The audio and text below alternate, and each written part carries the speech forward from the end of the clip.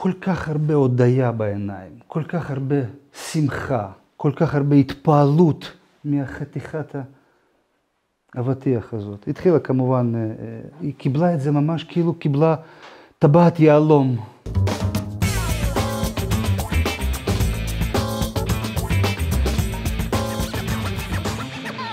פעם אחת הייתי בפריז, אה, נכנסתי למטרו. יודעים מה זה מטרו, כן? זה רכבת תת-קרקעית, כן? רכבת תחתית. נכנסתי למטרו, ומטרו של פריז דווקא הוא לא הכי נקי בעולם, בוא נגיד ככה, כן? הוא... בקיצור, נכנס, מתיישב, ונכנסים יחד, יחד עם אנשים עוד שני, איך אומרים בומש? הומלס. הומלס, עוד שתי הומלסים, גבר ואישה. זוג, זוג, זוג, זוג הומלסים, כן, נכנסים למטרו זוג הומלסים. התייש, התיישבו שם בפינה, כל האנשים התרחקו מהם כי הם מסריחים ולא נעים לשבת לידם. לשניהם יש שקיות ביד, לזה יש שקית ביד, לזאת יש שקית ביד. כולם ככה כאילו, כל שאר המטרו זז כזה. וגבר מתחיל לחוטט שם בשקית שלו. מחוטט, מחוטט, מחוטט, כל האנשים כבר זה התרחקו. סוף סוף מוצאים משם חתיכת אבטיח לא גמור כזה, שיש שם קצת עליו אדום. עוד נשאר קצת אבטיח כזה, כאילו. בטח מצא באיזה מזבלה, כן, באיזה פח זבל.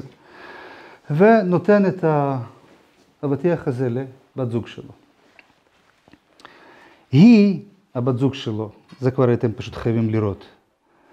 היא פשוט, רמת ההתפעלות שראיתי על, על הפנים שלה, זה, זה בלתי אומן. כל כך הרבה הודיה בעיניים, כל כך הרבה שמחה, כל כך הרבה התפעלות מהחתיכת האבטיח הזאת. התחילה כמובן, היא קיבלה את זה ממש כאילו קיבלה טבעת יהלום, ממש לקחה את זה ממנו, ככה, בעדינות. הסתכלה עליו עם מבט כל כך מלא באהבה, שלא יודע, חבל הזמן.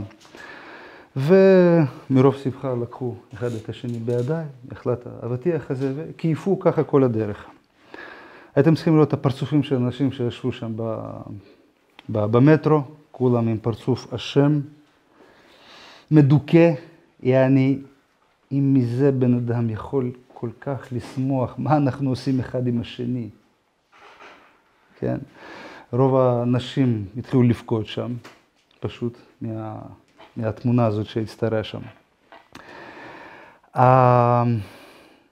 הדוגמה הזאת עם ההומלסים האלה, דוגמה מצוינת של האנרגטיקה של ההודיה הזאת, כן, שקיימת בין גבר לאישה, של מה הוא רוצה ועל מה היא מסוגלת להיות שמחה.